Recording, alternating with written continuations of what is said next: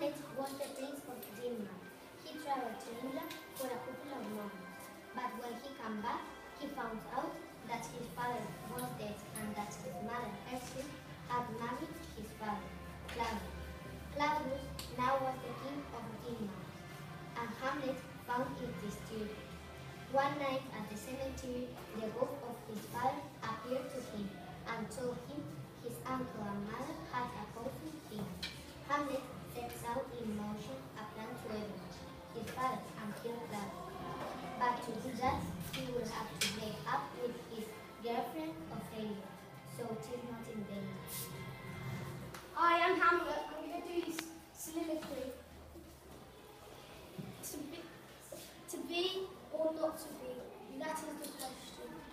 When it is noble in the mind to suffer, the slings and arrows of outrageous fortune, or to take arms against by opposing enemy.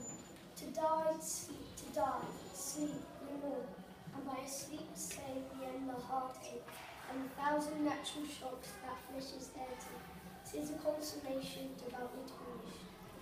Bravo! Bravo! Bravo!